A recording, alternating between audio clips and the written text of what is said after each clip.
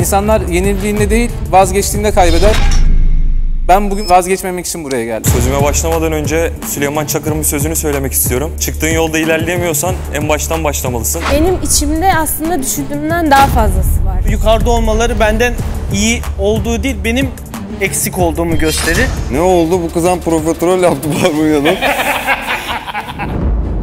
Sizden istediğimiz yemek yuvalama. Köftenin büyüklüğünü çok dikkat ederiz. İnci gibi dizilmesi lazım. Sen bunu göz kapalı yaparsın düşünüyorum.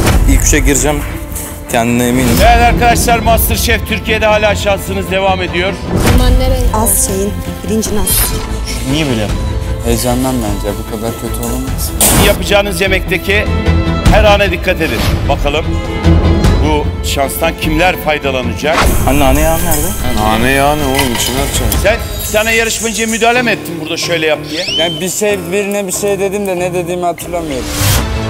Bu akşam vermiş olduğumuz yuvalamayı En lezzetli yapan, verdiğimiz kriterleri uygun pişiren yarışmacımız Masterchef bu akşam TV8'de.